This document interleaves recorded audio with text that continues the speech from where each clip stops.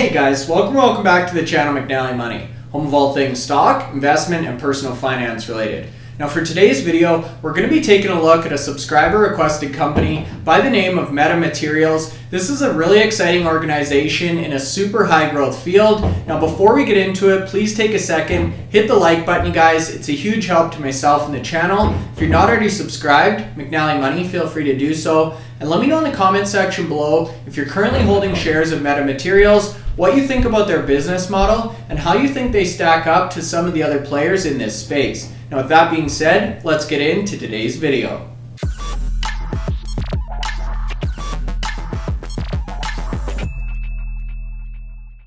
Okay guys, so that's right. Today's video, we're going to be taking a look at Meta Materials Incorporated, trades on the NASDAQ in the United States under MMAT. Now, as you can see, this is as of close on Monday, November 7th. They were down 16 cents on the day or about 10% to close out at $1.46 US and down an additional 2% in after hours trading. So this was the daily chart here, you guys. And if we pull up a six month view on Meta Materials, you can see they were peaking out around the end of May at two bucks. They had another run pretty close to $2 right at the end of June. And then they bottomed out here just recently, October 3rd at 64 cents. So depending when and where you got into this stock, you may be extremely happy or not so much. But if you were able to get in at the start of October, you've doubled your money despite this big pullback we saw during today's session.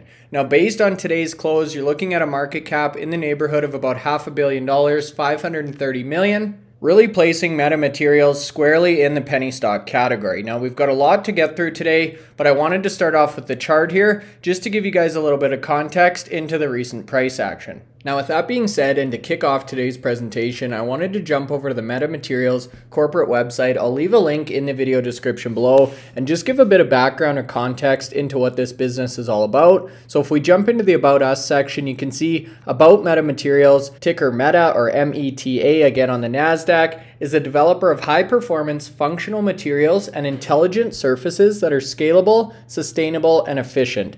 Through applied physics and advanced design, we are pioneering a new class of multifunctional materials called metamaterials, which have engineered properties that go beyond what is found in nature. So, really designing and creating these next generation materials to meet a lot of the needs of these up and coming industries, which we're going to talk about in a second.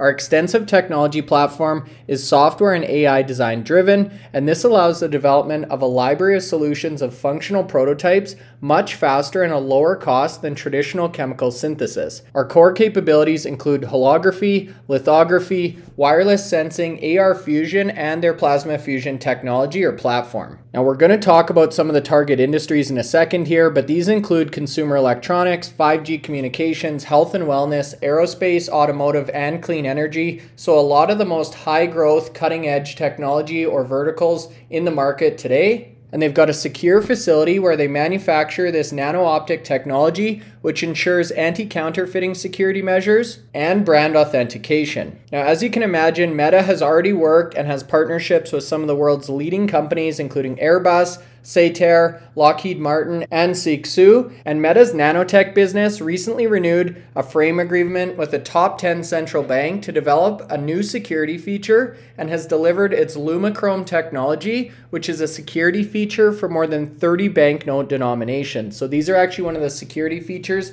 found in paper money. And as a result of all of this innovation and creativity, Metamaterials was recognized as Lux Research Innovator of the Year last year in 2021. And I should call out, we made reference to the metamaterial category up here in the About Us. And if we scroll down a little bit and actually define what metamaterials are, these are a new class of functional materials designed around unique patterns or structure which causes them to interact with light and other forms of energy in ways not found in nature. Metamaterials enable properties and capabilities that go beyond those found in natural materials, and these are generally not possible to create using conventional material discovery or specialty chemical manufacturing technologies. They typically consist of a multitude of structured individual elements referred to as meta-atoms, and these meta-atoms are of the same size scale as that of the electricity circuit in a computer chip. So an extremely small scale manufactured to extreme precision. And you can see they talk about this precision here in terms of the shape, geometry, size, orientation, and arrangement of these nanostructures that allow them to interact with electromagnetic waves of light, radio waves, and other forms of energy to create material properties that are not easily achievable with natural materials. And that's why these metamaterials can be used in security features like the banknotes we just looked at in the previous example. Now, in terms of the actual technology and the platforms created by Meta, you can see they've got a wide array of different technologies. So they've got their live optic line, their color optic line. You can again see banknotes are featured there. Their Vlepsis platform, electro-optical and infrared system, plasma fusion, metamaterials and functional surfaces, AR fusion, holography, wireless sensing, lithography, and finally customer solutions. So you're really getting quite a diversified product offering here or portfolio of these metamaterial solutions or applications. And because we just talked about those banknotes, I thought it was relevant to throw this article in, which came out September 29th, talking about a purchase order in excess of $4.3 million for their nano optics security business, which provides that anti counterfeiting feature on currency. And you can see this is actually that top 10 or G10 central bank customer referred to on the company website, which is a five year contract, really positioning Meta as a global leader in banknote security technology. Now, if we jump into the investor presentation, you can see Meta Materials is really focused on providing solutions for everyday life, delivering breakthrough performance across a range of applications and industries, which we just talked about, by designing, developing, and manufacturing sustainable and highly functional materials. And the way in which metamaterials has differentiated themselves, or what they call the Meta Advantage, is really broken down into three key priorities. So, number one is speed. As we alluded to, because they use AI software to design a library of these patterns for different applications, they're typically able to develop new custom solutions within a few hours as opposed to multiple months with other competitors. So, they essentially do a lot of the planning, strategizing, and legwork in advance so they can then go and customize these solutions in a lot less time. When clients come to them with specific asks, they're not starting from scratch each and every time. Now, secondly, is scale. So, Meta is one of the first companies to develop proprietary roll to roll production equipment to produce large area, high volume nanocomposites. So, again, their production facility is state of the art, it's highly secure, and it has the scale to produce a ton of the material or metamaterials that are becoming more and more common in a lot of these industries. And then finally is just cost. So, this is really a direct reflection of scale, increasing the roll to roll web width and line speed or production speed of this manufacturing line should drive their actual production costs down to a few dollars per square meter which makes this company even more competitive when you stack them up against some of their peers. And speaking of peers, I thought this was a really interesting slide. Again, in the investor presentation, they've broken it out into five different categories here. So these are true metamaterial companies. You can see metamaterials listed there alongside MetaWave, MetaBoards, AMC, Sonobex. So these are emerging disruptive companies. They've got low production costs and high margins, which we just talked about. You then have your existing chemical and specialty materials company. So these are larger incumbent companies. They deal with bulk bulk materials and a lot less specialized. So these are going to include ones like Mitsubishi Chemical, 3M Innovation, DuPont. You've then got carbon nanomaterials, which are trademarked by slow processing, expensive scalability, and exposure to the fluctuation in rare earth prices. Then you've got your semiconductor materials sector. So this is players like LG, Intel, some of the more well-known semiconductor companies. And finally, ITO or specialty coating manufacturers, which is listed in the fifth bucket here, and are generally characterized as having average performance and exposure to precious metal pricing. Now, what's interesting is you can see any of the companies with these black dots around them have existing relationships with metamaterials. So you can see AGC, PPG, Lockheed Martin, Samsung, Sekisui, and Covestro. So realistically, in every category other than the carbon nanomaterials, Metamaterials has an existing professional relationship or partnership in place. So with that being said, they're definitely not the only player in this high growth and exciting sector. However, they do have a lot of industry connections and a lot of differentiators when you start to compare them to other metamaterial organizations. Now, the reason we're starting to see so many companies flood into the metamaterials sector is really because of the market opportunity or the total addressable market that this sector represents. So, when you look at the various different industries that can benefit from metamaterials, including 5G infrastructure, so required to actually roll out the antennas, the reflectors,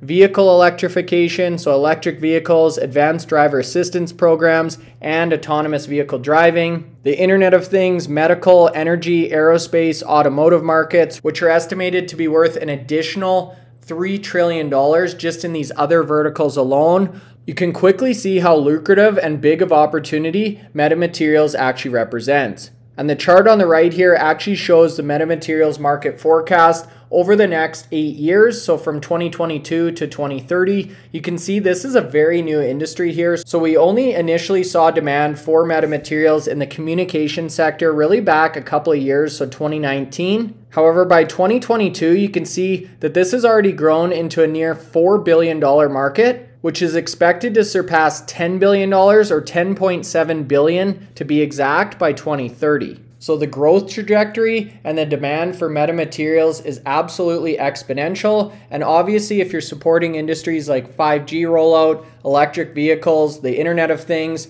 these are huge growth opportunities and they require a lot of these specialized and precision materials in order to make those technologies work. And this slide here really shows the range of solutions that metamaterials can solve for. So things including aerospace, defense, augmented reality, the automotive industry, specifically electric vehicles, banknotes, which we just talked about, batteries, clean energy, communications, which was really the first adopter of these metamaterials, consumer electronics, and health and wellness, and then some of the various different technologies and their practical applications. So under the holography banner, you've got the holoOPTIX and the Meta Air. Under lithography, you've got the NanoWeb platform. Wireless sensing, you've got the GlucoWise. Precision integration, you've got their AR fusion and plasma fusion technology. Under nano optic, you've got the color optic platform. Nano ceramic, you have NPORE and nanopore. And then finally, the electro optical or IR infrared, which is covered by their Vlepsis platform. So, regardless of the market or the industry you're looking to serve and the type of technology you're looking to leverage, Metamaterials has it covered, and you can see a robust intellectual property portfolio, including 450 active patent documents, 288 issued patents covering 103 different patent families, of which 62 patent families already have at least one issued patent within them. So to me, this is another huge point of differentiation is you're getting this diversification and all of this technology is patent protected, giving metamaterials the opportunity to really compete in any of these different verticals. And in the interest of time, we're not going to go into each and every one of these technologies, but I thought the electric vehicle case study was super relevant. We talk about EVs on this channel a lot, so this is just one example of where these metamaterials can be used. So the intended outcome here, or the EV consumer desire, is to increase the range and improve the charge time of these electric vehicles. This requires improved material performance in terms of energy density and charge rate demands, which also need to be stable and safe. And as we continue to see more and more EV adoption, we're going to require better material utilization or to become more efficient at these actual input materials and to reduce the cost for the end consumer. So Metamaterials is developing two new battery materials and manufacturing techniques to address these challenges. Their NPORE technology is a nano-ceramic battery separator that features under 1% heat shrinkage for increased safety and offers superior electrochemical performance. The other technology is their plasma fusion, and this is used to make thin coated copper current collectors, which actually reduce the weight by 80% and inhibit thermal runaway. So these are just two specific use cases or examples of how metamaterials is addressing some of these needs in these up and coming markets. This one happens to be the electric vehicle market for these very niche solutions that have an overall huge impact on the greater industry and EV adoption overall. And really, Metamaterials has examples like this in any of these markets or verticals, which are laid out and described in their investor presentation. Now, we just talked about their portfolio of intellectual property and their patents, so this slide here has a lot of the same stats, but you can see this is a huge component of the organization. And these patents cover everything from the actual devices and components to the scaled manufacturing and the fabrication and origination of these technologies. So it's actually the production and bringing this stuff to market, which is also protected by this intellectual property portfolio. And the final thing I wanted to leave you with is just some of the financial highlights from Q2. Now, Metamaterials is actually going to be putting out their Q3 numbers on November 10th. So, this is a great opportunity to take a look at this company in advance of earnings. But some of the highlights from Q2 revenue was $3.3 million, which was up 430% year over year, which is absolutely phenomenal growth. You can see some of the key takeaways there the nano optic security development, the global currency demand continuing to grow and the focus on this currency or banknote market opportunity. They put up a net loss of $21 million, so the company is losing money at this point in time, and their loss per share had more than doubled versus prior year comparables, so that'll be an interesting metric to keep an eye on later this week. They had cash and cash equivalents of about $55 million and long term debt of about $3.2 million at 0% interest. So, again, when you consider the market cap of this company, the numbers do look fairly healthy here. And this article, which came out October 31st, talks about the upcoming Q3 results, which again are going to take place after market close on Thursday, November 10th. So, that's definitely a key date to keep in mind. Now, with that being said, I'd be super curious to hear your thoughts on metamaterials. Again, thanks to the subscribers who put this one on my radar. Let me know if you're currently holding shares, how you think they stack up to some of the other players in the metamaterials sector, and what you think about the growth opportunity here moving forward.